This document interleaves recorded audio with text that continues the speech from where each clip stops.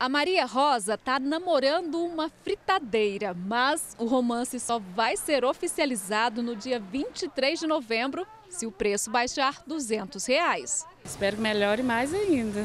Vai para 299.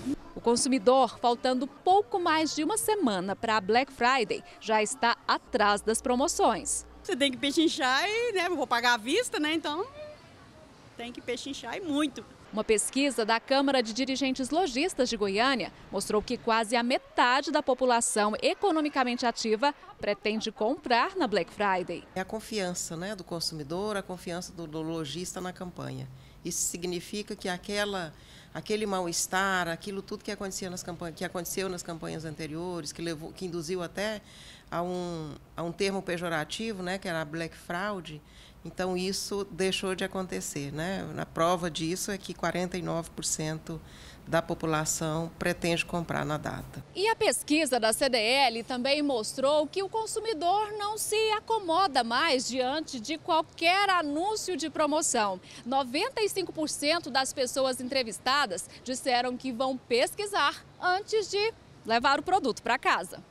Prova disso é a Ana, que já comprou um tanto de coisa e pretende levar mais, ainda no dia da Black Friday. Eu comprei um ventilador, um liquidificador, uma cama e um sofá.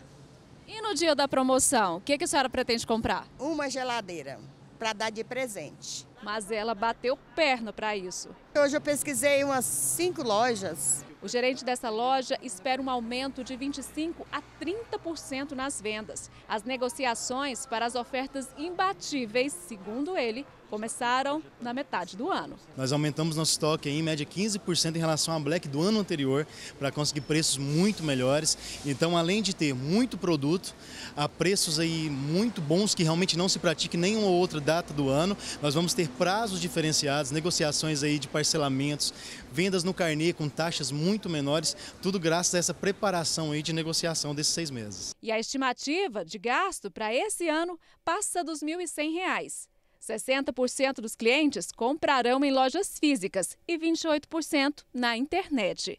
E o lojista não pode decepcionar, porque 63% acreditam em promoções de verdade no dia da Black Friday. Esse trabalho e essa credibilidade, quem passa é o lojista, fazendo campanhas reais, com descontos reais, que passe essa segurança e essa credibilidade para o consumidor.